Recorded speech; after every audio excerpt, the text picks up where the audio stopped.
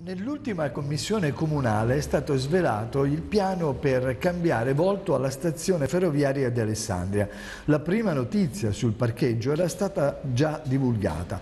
Infatti il Consiglio Comunale entro brevissimo tempo sarà chiamato ad approvare quello che è l'ultimo passaggio che porterà entro la fine dell'anno all'acquisizione da parte del Comune del parcheggio Tiziano che è a fianco alla stazione ferroviaria e che in pratica è costituito da un'area di grandi dimensioni che oggi è affittata dal Comune e che è utilizzata solo in parte come parcheggio ma prossimamente diventerà anche stazione degli autobus e parcheggio per le biciclette. I fondi necessari saranno prelevati dai 20 milioni di euro stanziati per Alessandria dal decreto crescita. Adesso nell'ultima commissione comunale è stato svelato che anche le ferrovie hanno un piano di restyling con molti interventi migliorativi sulla stazione alessandrina.